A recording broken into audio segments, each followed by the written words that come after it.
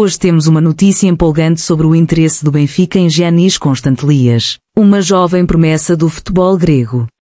Mas antes de conferirmos todos os detalhes, não se esqueça de se inscrever no nosso canal Notícias do Benfica, deixar o seu like, comentar o que achou dessa possível contratação e ativar o sino das notificações na opção Todas, para não perder nenhuma atualização. Vamos juntos acompanhar cada passo do nosso glorioso clube. O Benfica demonstrou interesse na contratação de Giannis Constantelias, jogador do PAOK.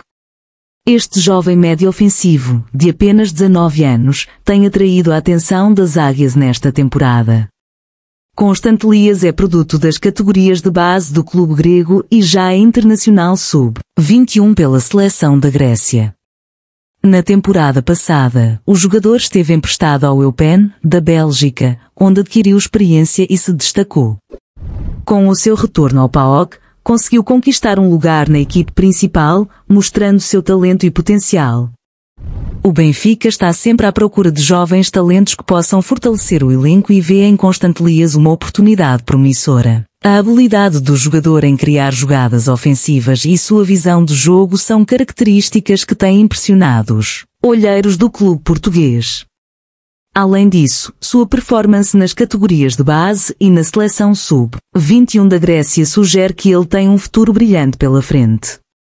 A diretoria do Benfica acredita que a chegada de Constante Lias pode trazer um novo dinamismo ao meio-campo da equipe, complementando o estilo de jogo ofensivo que o treinador busca implementar.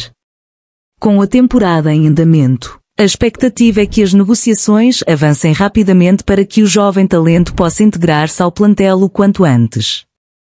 A possível contratação de Giannis Constantelias é vista como um investimento estratégico, visando tanto o presente quanto o futuro do clube.